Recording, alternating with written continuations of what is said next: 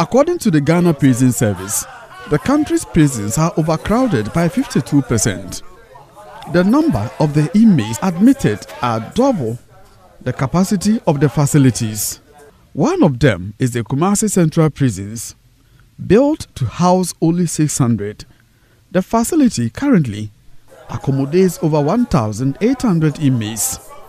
Prison authorities say about 40% of inmates committed petty crimes and are unable to pay court fines. DSP Francis Yao Apau is the Assistant Criminal Records Officer at the Kumasi Central Prisons. He wants groups and organizations to help pay for the fines of inmates languishing in jail for petty offenses such as stealing, assault, and traffic offenses. Some prisoners with petty, petty fines 300, 400, 500, 600 they are all bunched up here, adding up to the number of congestion or the seriousness of the congestion in our facility. So when we get such gestures, indeed it will go a long way to ease the pressure on this facility. Averagely, those with petty, petty offenses, they are the people that come in a lot. They constitute about 40% of the total population. Atakwesi Nuyakon, a taxi driver, was convicted for stealing by the Bekwai Circuit Court.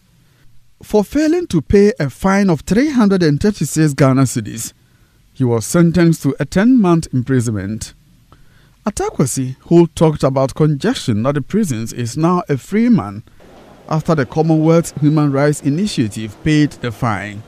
Medi 23 years, me to a fancy cocoa. Me name Madamfo, and then I'm Madamfo no Eji Obiska. To Joe Obiska no Johnny and Umucheme. Fine 8.4. mebaa nneɛma bebree na mabɛsua ne ano. Sɛ central prison nyɛ yize mpa baako yɛda mpa baako ase mpa no yɛbɔ yɛ nipa mako mako eighteen eighteen. Ɛnyɛ yize sɛ wobɛtumi atɛn no wosɔle nso a wonna biem. Kɔpem sɛ adeɛ bɛkyi nyɛ yize na ne nuanom wɔ abɔnten ɔmo nhyɛ ɔmo ho yie wɔ ayɔnkofa ho. Ɛfiri sɛ namfoɔ bɛtumi de wakɔ nso bebree mu. The Commonwealth Human Rights Initiative in collaboration with Osiwa, is paying fines of petty crime offenders. It forms part of its increasing advocacy for the decriminalization of petty offences project in Ghana, which has already paid for the court fine of 60 inmates. Officials hope the project will help decongest overcrowded prisons in the country. Anthony Sejo is the project officer for access to justice at the Commonwealth Human Rights Initiative. We believe that people who commit petty offences like hawking, like traffic offences, should not find themselves in jail. We believe there should be a, a, a non-custodial sentencing law so that some of these people will do community service or uh, they'll do uh, communal labor. We're doing this, this advocacy because our prisons are already congested with petty offenders.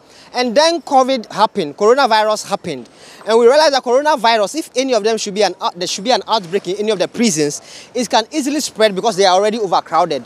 And so with the support of Open Society Initiative for West Africa, OSIWA, we decided to write to the Ghana prisons and pay the fines of at least 60 people who are in jail.